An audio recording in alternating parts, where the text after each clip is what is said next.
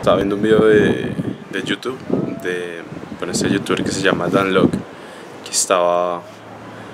Bueno, el show se, habla, habla de chatting with the boss in the Bentley, que es el jefe en el Bentley, Dan Locke tiene un Bentley, Bentley, Bentley, tengo un Bentley.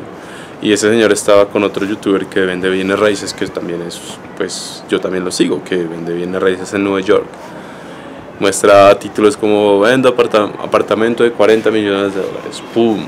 Entonces yo dije, wow, estos dos youtubers aquí, vamos a ver de qué hablan. Y tan loca ahí sentado, su, Bentley, Bentley. Y el otro man ahí está, eh, el de real estate. Y Dan Locke le dice a hey, what is your best tip ever when it comes to sales? ¿Cuál es tu mejor tip cuando viene a las ventas de bienes y raíces, por así decirlo. Y el señor de real estate le dice, hmm, en español no me voy a poner a traducirlo, dice, uy, yo cuando estoy, o sea, cuando estoy a punto de vender, cuando un cliente viene a, a ver ese apartamento de 20, 10 millones de dólares y estoy a punto de encontrarme con él, me siempre me da como esa, esa, esa esos nervios, esos nervios de que será que lo puedo hacer, será que si lo voy a, hacer esta venta, será que si soy capaz, etcétera. Eh, él será y será y será. Entonces él dice que antes de entrar a la propiedad, antes de mostrar el apartamento, él dice, ya vendí este apartamento. Me debo sentir como si ya hubiera vendido este apartamento, ya hubiéramos cerrado el trato con ese millonario y lo único que vamos a hacer es hablar. Y actúo como tal, hablo como tal, me expreso como tal, soy esa persona que ya vendió este apartamento de 10 millones de pesos. Soy esa persona que tiene esa seguridad, esa espontaneidad, esa elocuencia, esa seguridad, esa relajación de como si ya hubiera vendido este apartamento de 10 millones de pesos. Así de simple. Muchacho, yo quedé, wow, súper, súper bien porque frecuentemente, digamos, tú estás en un webinar, en un evento, de, o sea, estás en un evento en donde tienes que vender, ya sea online o personalmente, nos entra esta, esta, esta, esta, esta sensación de que, ¿será que alguien sí va a comprar? ¿Será que sí? ¿Será que no? Y este señor lo que expresa me parece fantástico porque, hombre, ya lo conseguí y es lo mismo como cuando tú vas, y el, y el de real estate explica que es lo mismo cuando tú vas a salir con una mujer. Cuando vas a salir por primera vez con una mujer, o sea, tu primera cita tú te perfumas, te vistes súper bien, planeas la película, qué horas, qué crispetas van a comer, que si combo con crispetas y gaseosa, hicimos un perro, etcétera. Lo planeas todo bien y te sientes preocupado y preocupado y preocupado y, y esos nervios de que espero que todo salga bien con esta niña con esta mujer, eh, porque es la primera cita. Y él dice que lo mismo cuando ya él, o sea, da la misma analogía. Lo mismo, o sea, aparenta de que es la segunda cita con ella, aparenta que eh, todo va, eh, que ya han salido varias veces con esa persona, ha salido varias veces con esa persona, aparenta que tú le atraes a ella, aparéntalo. Y eso te da cierto shift, cierta seguridad en, en lo que vas a hacer, en lo que quieres hacer.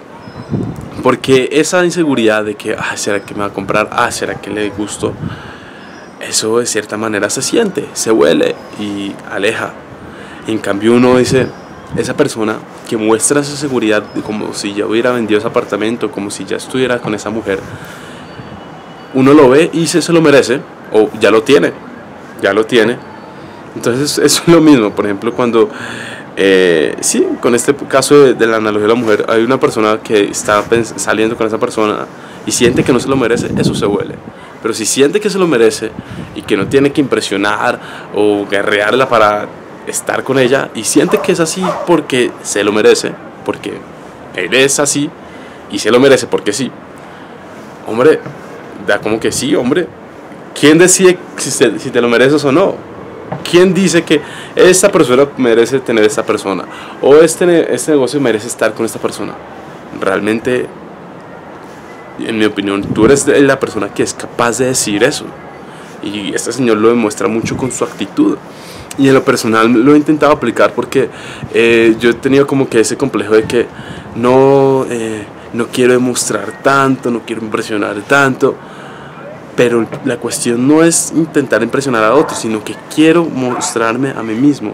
¿Cuál va a ser mi actitud frente a la vida, frente a lo que estoy haciendo? ¿De éxito o de que, ay, ¿será que lo puedo lograr?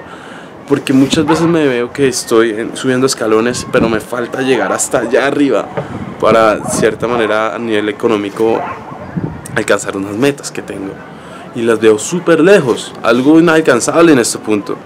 Y la única manera es jugar como, o, pensar, como si qué pasaría si ya lo tuviera, cómo hablaría frente a la cámara, cómo hablaría frente a estas personas si ya les vendí ese entrenamiento que estoy seguro que les va a ayudar.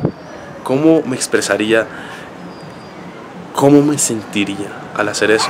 Y creo que es muy importante porque mm, apuesto que no soy el único que ha tenido un sueño y se le ha cumplido y piensa, ah, hubiera soñado más grande.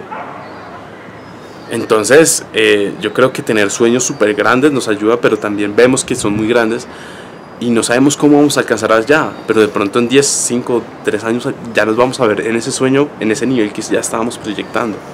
Y yo creo que un buen, un buen ejercicio es que él plantea él, aparéntalo, o sea, juega, como cuando vayas a hablar con ese cliente, ya, ya le presté ese servicio que estoy seguro que le va a gustar, simplemente voy a hablar con él para pasarla bien.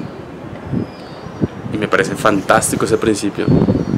Obviamente, eh, yo no soy de las personas que aparentalo hasta que lo consigas, porque no sé, no, me va muy bien con. No me siento muy cómodo con eso, pero con esta perspectiva sí. Mira, eh, para que me pongas un poquito en contexto, yo me estoy despertando 5, 4 y media. Este, estos días me desperté a las 5 para hacer mis cosas. Usualmente intento despertarme a las 4 y media de la mañana. 3 horas de adelantar cosas como CRM, marketing digital, en algunos casos videos. Ya por ahí, quién sabe, a las 8, 9 descanso un poco, 30 minutos a las 9 y media estudio sobre inversiones, a las 10 y media hasta las 11 y media veo la bolsa de valores, ya por allá a las 11 comienzo a atender, se comienzan a tener llamadas si se tienen, si no se hacen otras tareas, y así hasta las 4, 4 y media, 5 de la tarde. Esto te lo digo porque no soy la persona que dice que tienes que visualizarte haciendo esto y que tienes este logro y ya. O sea, a lo que me refiero es a ti, me estoy refiriendo si estás haciendo lo que se debe hacer, o sea, lo que tú, o sea, que te estás esforzando por eso que quieres lograr, pero ves que dices, hombre, no sé si lo vaya a alcanzar porque está difícil este camino.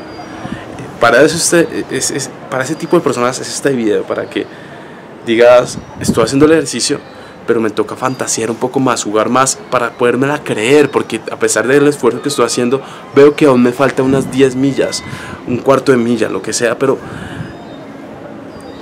en ese punto es donde yo pienso que es muy importante tener la imaginación, para porque llega un punto que no, no, no nos creemos que vamos a llegar hasta allá, y la imaginación, el juego, como dice este señor, de por lo menos aparentar un rato, tal vez nos puede dar ese último impulso, ese cuarto de milla que nos falta para, digamos, estar en ese momento, en ese nivel que, que queremos estar. Eso es lo que te quería compartir. Em, y ya, no estoy el nivel que quiero estar, pero yo veo hacia atrás y digo, wow, estoy en un nivel muy bueno. Obviamente me falta mucho digo, wow, hace unos años atrás no pensé que hubiera estado en este nivel. Sí, pero y ahora hoy en día sí está bien, pero necesito avanzar más, necesito llegar a otro nivel más arriba. Eso es. Y si tú te sientes así, no estás solo.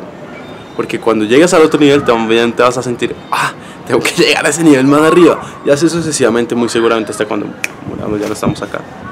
Si quieres ver otro video sobre esta particularidad que hablamos usualmente en este canal sobre éxito y motivación, si se puede categorizar este video sobre motivación porque no soy como que go, go, go, go, go. Eh, acá arriba va a haber una opción, una carta donde puedes seleccionar, darle clic ahí y te va a pasar un video muy interesante sobre motivación y de tus sueños y por qué creo que los puedes alcanzar. Recuerda suscribirte, dejarme un comment, qué tal te pareció. Y un like, ¿por qué no? Para variar. Ah. Eso es. Chao, chao. Te vaya muy bien. Hasta la próxima.